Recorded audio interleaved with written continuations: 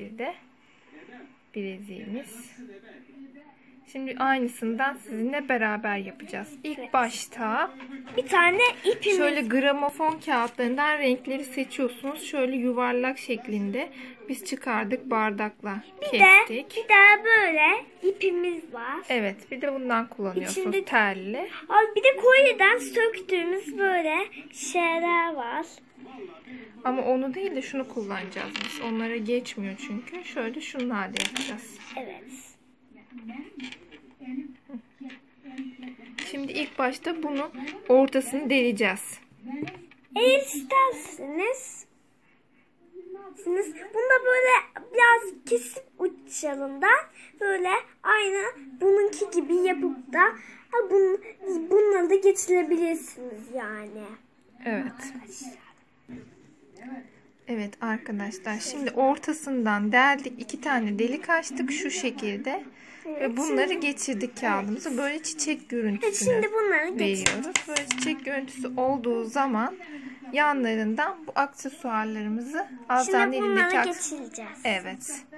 Şimdi tek tek bunları kenarlarından geçireceğiz.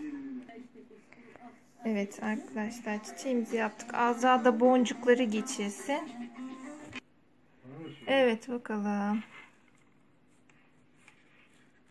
Evet 3 tane de öteki tarafına Azra geçir.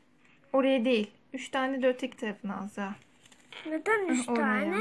Neden üç tane? Az kaldığı için diğerleri geçmiyor.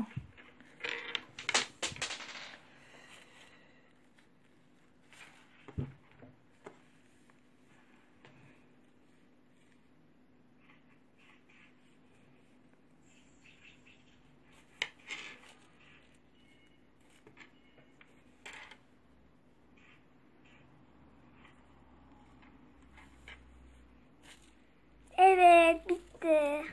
Evet şimdi bunu tam kolumuza göre yapalım. Evet arkadaşlar böyle oldu. Evet. İkisi de böyle boncuklu, çiçekli bileziklerimiz hazır.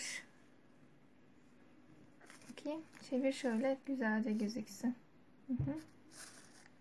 Şöyle. Yandan da şu şekilde. Tabii bu daha aşağıda duracak. Ötekini göster.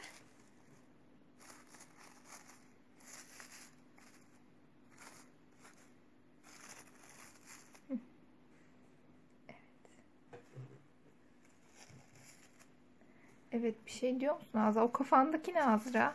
Taç. Nasıl bir taç yaptın kendine? Ne yapayım? Başka bir şey bulamadım. Hmm, güzel olmuş. Bileziklerin de güzel oldu. Bay bay görüşürüz. Videomuza abone olmayı unutmayın.